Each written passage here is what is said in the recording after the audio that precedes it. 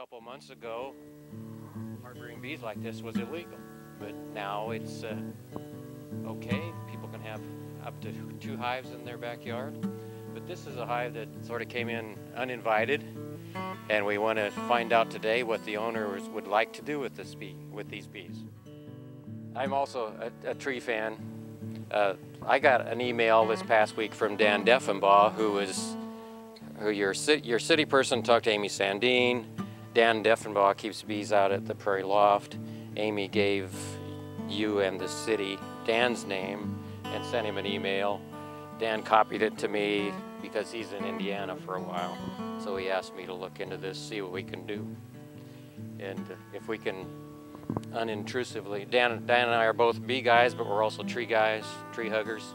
We would like everybody to come out of this alive. Bees seem to have minds of their own. Uh, sometimes they're here by invitation, sometimes without.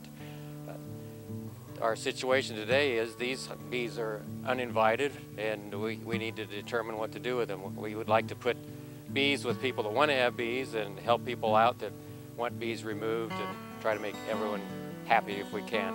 With us today is Cindy Kester. We're at her beautiful backyard and her maple tree is, has a hive of its own.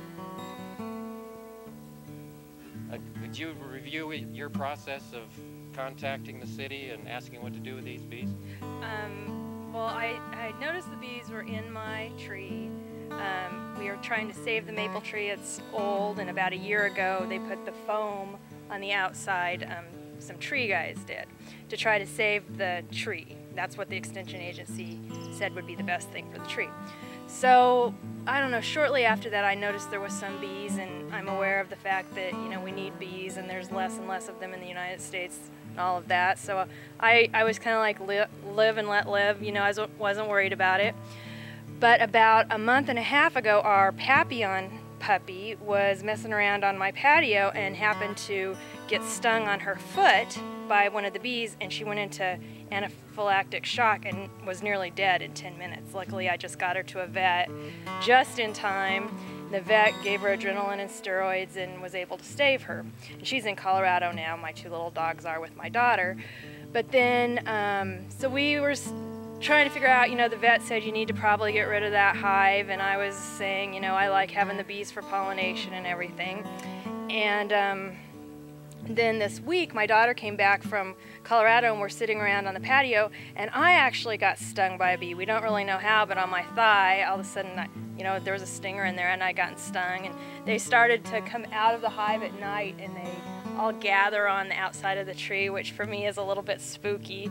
And so a friend of mine that was here, he said, you know, he wouldn't like having those bees that close to the dogs and my daughter and my daughter's friends and me, and so that I should check with someone and see what to do about it. So I, I called the University of Nebraska actually, and he told me the best thing to do would be to either let the bees be alone, just let them, leave them alone, they'll die on their own within a year, or, um, you know, kill the bees. And he actually gave me the name of someone to kill, and or to kill them. And I kind of decided that um, I was just going to let it be. But I am concerned about my dogs. You know, I don't like the idea that my little dog could get stung again by a bee and probably be dead, you know. So that's the story. Okay. So your, your outcome today is preserve the bee's life, preserve the, the tree's life. But if you, would you like them extracted if we could do it not without being lethal? Right. If we could move the bees without killing the bees, um, you know, not kill the tree, then I would probably, that would be okay. But my understanding now from the University of Nebraska was that getting the bees out of there is a pretty big thing, that it might kill the tree. And then even if we get the bees to move, more bees will probably come, come and live in there because they'll like that. Yeah. They'll like that tree. Did you talk to Dr. Ellis? I believe so. He's the head of entomology.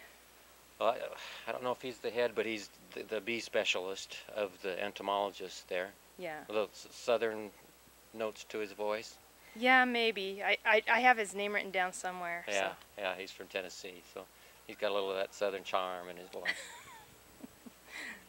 so yeah, that if if you could move him, I that would be good. I think. Yeah, there's there's no guarantees to this, but there's a, a few things we could try. For example, uh, uh, making a platform up there and setting a hive body up there with with frames and some drawn comb.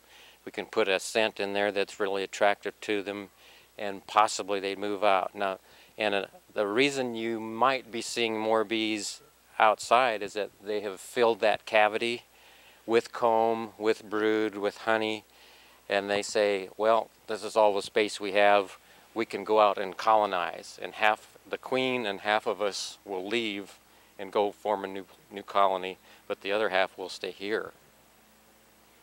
So that's an option. Yeah, that's my. I mean, my sense was that the whole bee, that whole tree is full of bees, and I was. That's kind of a, a daunting thought, you know, And kind it- of scary. It suggests that the, the tree might be hollow Yeah. and hard to save.